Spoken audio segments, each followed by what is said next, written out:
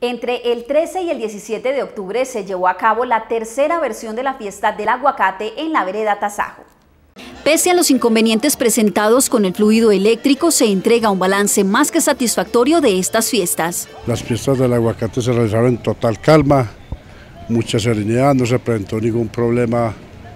Eh, la gente muy, muy culta, utilizaron bien los basureros, eh, con paciencia hacían fila para las comidas, todo muy bien muy bien manejado.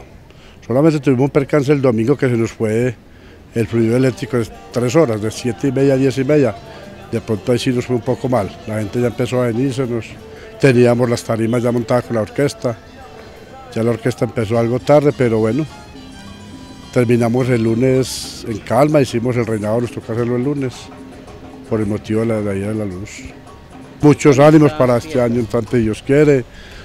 Vamos a seguir con las fiestas, claro y vamos mejorando muchas cosas. Esta fiesta cuenta con un componente académico, el cual se ha convertido en eje central de esta celebración. El primer día, en las horas de la tarde, se hizo una gira a una finca donde se hicieron cuatro bases. En esas cuatro bases se trabajaron temas estratégicos pues, que tienen que ver con el tema del aguacate. Ya el día viernes eh, estuvimos acompañados también por unos grandes ponentes. Comenzamos con el profesor Giovanni eh, de El Sena, eh, que nos acompañó con un tema que era manejo de arbences en cultivo de aguacate. Posteriormente nos acompañaron de Río Claro también con el tema de manejo de suelos.